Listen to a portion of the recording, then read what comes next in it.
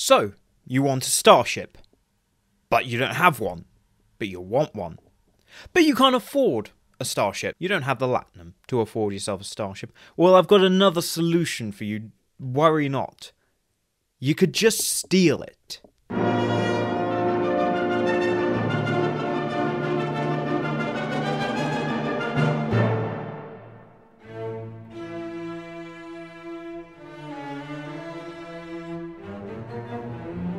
Hello, everyone. This is Venom Geek Media here, and today's topic was requested by Commander Philip Ty. He has been badgering me to make this topic for at least a year, possibly two years. I don't know. Time is funny and distorted, but he want he he thinks the Klingon bat'leth is great, and apparently I'm the guy to cover it, despite the fact that I've never swung a sword in my life. In any case, let's indulge him. So today we're going to be discussing boarding actions. Boarding, whether that is to destroy an enemy ship, to seize an enemy ship, whatever you want to do. We're going to go through the various minutiae of boarding actions and uh, and you know what with all is involved. So without any further ado, I think we should get into it. So in terms of boarding actions, there's basically four simple steps. It really boils down to four simple steps. And with these four simple steps, these are foolproof steps, by the way, absolutely foolproof method. Will work 100% of the time. 60% of the time works every time. Trust me. If you do the thing and you do it right and you don't fuck it up, then it works. It just works and you'll have yourself a starship. Trust me on this. Right, so step one is to, well, choose your target. What ship would you like? And you know whatever means do you have to seize that vessel. Step 1 is to lower its defenses either by deception or by force. Now, of course, you know, sometimes you're very you're in a very privileged position and you have a ship with superior firepower. Of course, if you have superior firepower, you can just knock down the shields and boom, we're through to the next level. That's not always possible though. Although saying that, two B'rel class bird of prey are fully capable of breaking the shields of a Galaxy class. You heard me right. Two B'rels. Not K'vorts, B'rels. That's from Next Generation episode The Rascals, even though, okay, they use the visual of a K'vort to make it seem slightly less preposterous, but the dialogue specifically says B'rel, so I'm going to treat it as if those are B'rels we'll we'll ignore that one. But you know, there are many ways of lowering the enemy defenses, and not all of them necessarily involve just shooting at them. Sometimes it's just a matter of opportunity. As I recall in the episode One Little Ship, there's basically just the Defiant is out in open space doing science. For some reason, the Defiant is doing science. I don't know, maybe they were going to send the Equinox to do it, but then it disappeared, so I guess now the Defiant has to do it. But in that episode, the Defiant is just out on its own doing a bit of science, and some Jem'Hadar come across it, and they just take the opportunity. Defiance on its own, not really paying enough attention. Three Jem'Hadar fighters, bang, bang, bang, bang, drop the shields, beam aboard. Actually, if we're talking about the use of force, then the use of shock, shock and surprise can get you a very, very long way in defeating the enemy's defenses before they even have a chance to raise them. So that's partially why you can be very quickly boarding an enemy ship, is if they're not even expecting to be attacked, their defenses will likely be down, and it makes the job so much easier. Other things you can do include various forms of deception. Take Star Trek V, for example, that terrible, terrible movie. But, yeah, just smuggle yourself aboard a shuttle and, you know, maybe feign an accident you know, oh no, we've we've taken a hit to our engine, we need an emergency landing. They do that all the time in blummin' Star Wars and they get away with it, so that's perfectly acceptable way.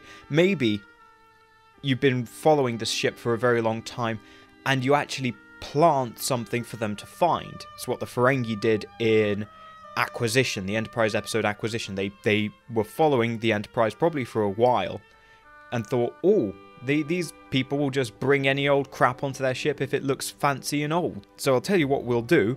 We'll put something on a planet that we know that they're going to visit, and they'll bring it onto their ship and we'll use it to knock them out.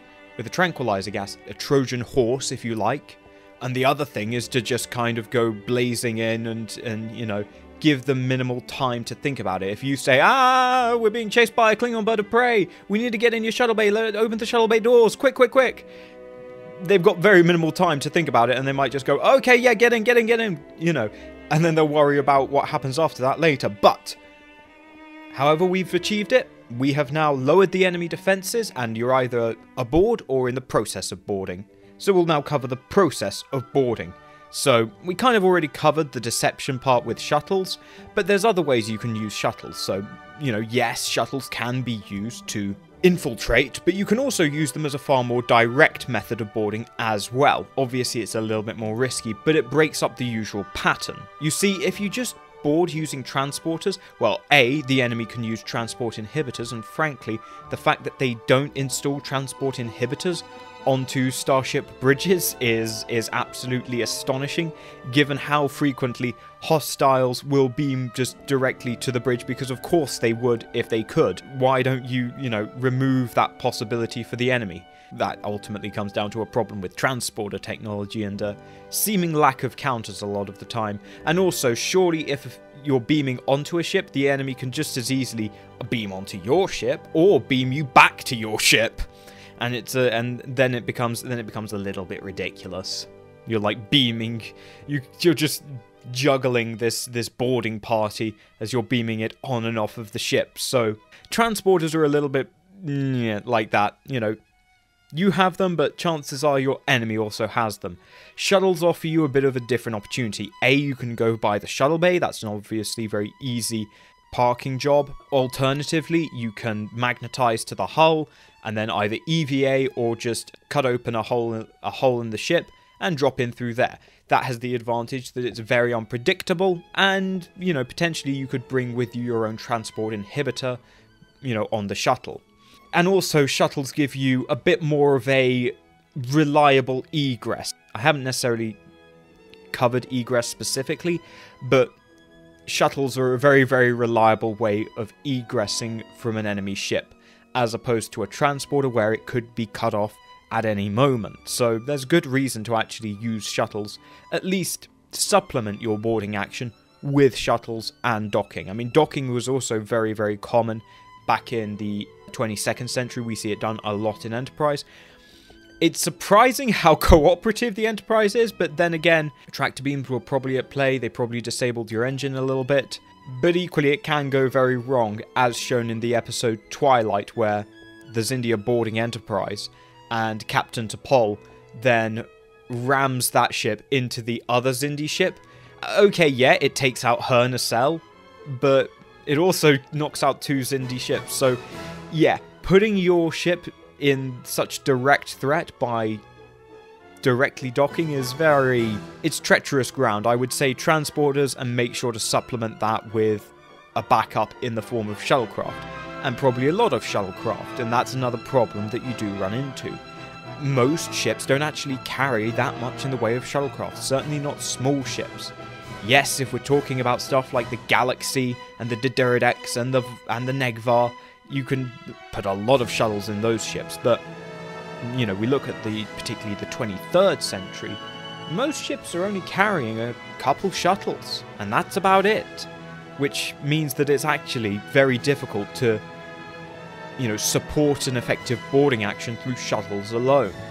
And ultimately, that does also reflect the importance of having an available crew for boarding action, unless you want to leave your ship undermanned and under-defended. Beaming in anywhere just as a final note, yes, you can beam in on the bridge. That seems to vary in its effectiveness. Sometimes you'll beam onto the bridge, and the enemy will just sit there gawping, won't have even equipped themselves with any weapons, and you can just go bang, bang, bang, you know, take out all of the enemy crew, seize control of the bridge.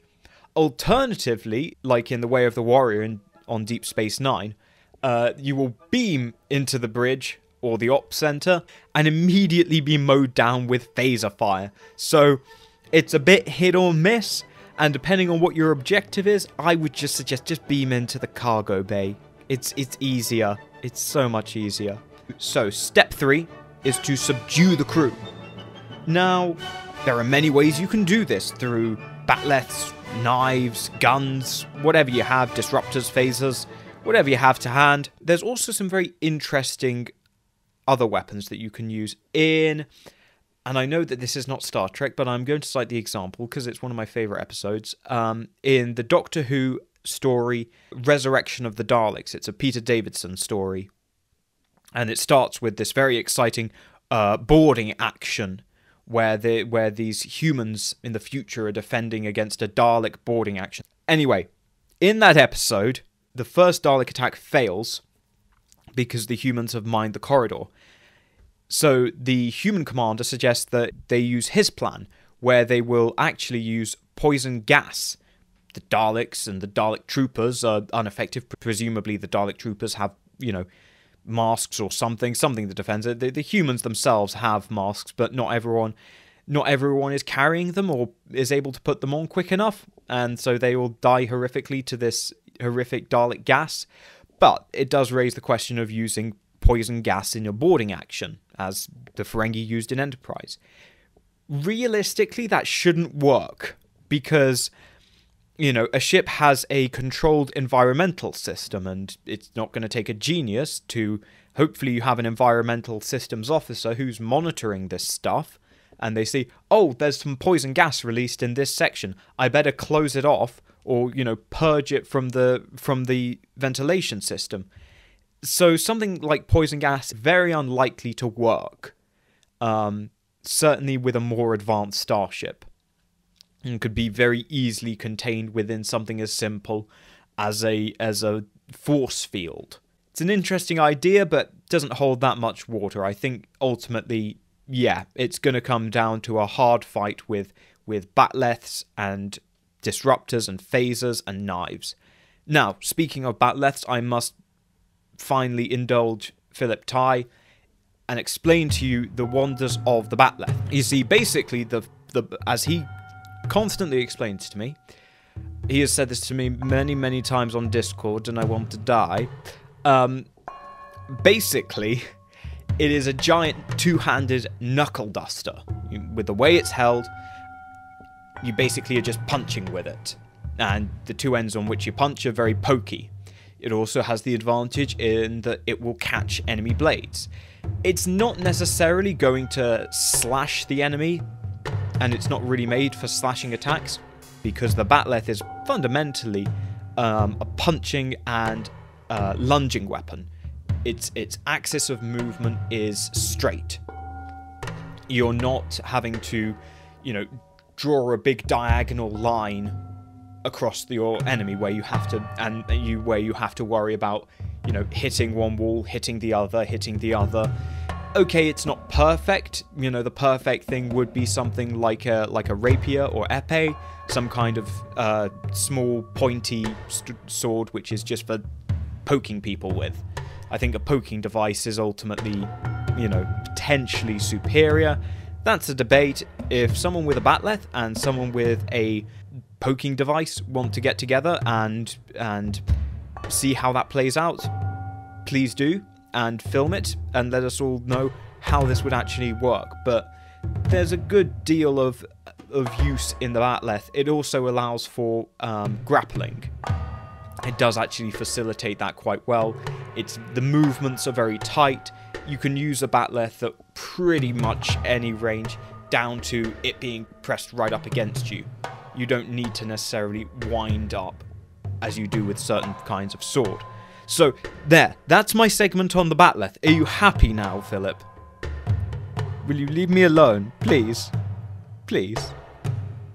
He's gonna hit me with the lirpa next time.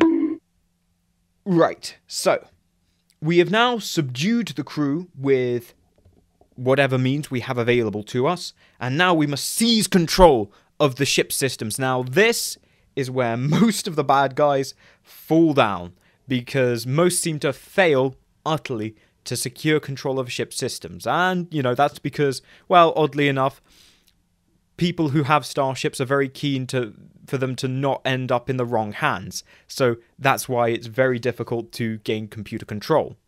But generally the problem seems to be that none of the people who think to board a starship think to bring their own techie with them who know how to, you know, get into the, the computer controls of the ship and make it work for their benefit. I think the only people who I can think of off the top of my head are the ones from Starship Mine, the the, the Die Hard episode. Uh, those are the only ones who I think get some degree of control over the Enterprise's systems, but even then, that's when most of the ship is shut down. The Borg fail to do this successfully. Apparently, the Borg don't understand how to bypass a simple firewall. But that seems to be where most slip up, and I would say definitely bring a techie, bring a slicer, someone who is capable of hot wiring the starship. Do not rely on the crew to operate that ship for you, because that will inevitably lead to them launching a counterboarding action and you getting chucked off the ship. So, yeah, bring your own techies with you. So, finally, I want to just touch on some basic notes on how the different military powers employ boarding actions, because I think this is very interesting. You see, the Klingons have a preference to board early. They will use it very, very, very early in an engagement if they can. And it is largely actually in support of the overall attack. It's not necessarily the primary objective of the attack, the boarding is actually part of the attack. Boarding an enemy ship to disrupt and distract the crew. You might say, in the example of Deep Space Nine being boarded, that they were going for the um, Detapa Council. But if that was the case, then why are there all these other boarding parties on the promenade, in the ops room, everywhere? It's because they're ultimately working to disrupt the operation of the station. And that's a very useful way to employ boarding action is in disrupting the activity of the enemy ship while you continue to attack it. The ferengi will generally only board once it's safe. I take the enterprise episode acquisition as a better example of what a ferengi boarding action would look like as opposed to rascals and that's partially because the TNG didn't fully understand what Ferengi were, whereas by the time we get to Enterprise, we've had all of Deep Space Nine's Ferengi, and it's like, yeah, these are not people who are going to board a ship if there's any potential that there's a there's a greeting party waiting for them. No way, thank you, sir. I know. Beam in the Nausicaans instead. You know, they'll find something else to do. Uh, with the Federation, uh, it is actually very common practice for them try to try and covertly board and disable vessels. They they are very very well versed in those kind of operations. I think that almost came back from um, the 22nd century, where often enough Enterprise would come across a derelict alien vessel and go, "Oh, what happened here? Let's get aboard it and try and get it working again and see what what happened to all the the crew, and possibly salvage it." They they leave that part out of the episode. Finally, with the Romulans, their basic attitude is we'll subdue the ship completely and then board it and potentially seize the prize if there's anything worth having there. You know, if there's some juicy Federation secrets, then we will then we'll board it. But otherwise, we'll you know blow it to smithereens and or you know disable it and then haul it back to Romulus with a tractor beam. So the Romulans have very little interest in actually boarding for its own sake. So, in conclusion, boarding in its basic essentials is actually very simple. It's a very simple four step process. But it hinges on very decisive and aggressive action. Transporters do actually help make boarding actions more viable in Trek, I would be shocked and and gobsmacked if the people that originally invented transporters were not fans of boarding actions. That seems like a very natural thing to explain the development of the original transporter was that it was made by somebody who really liked doing boarding actions. So that's probably a topic for another day. So I hope you all enjoyed. Thank you all for watching. Uh, thank you for the video suggestion, Philip. I hope it was to your satisfaction. Uh, and if you guys did enjoy the video, make sure to let me know in the comments. And if you can, super thanks is very much appreciated. I'll see you all next time.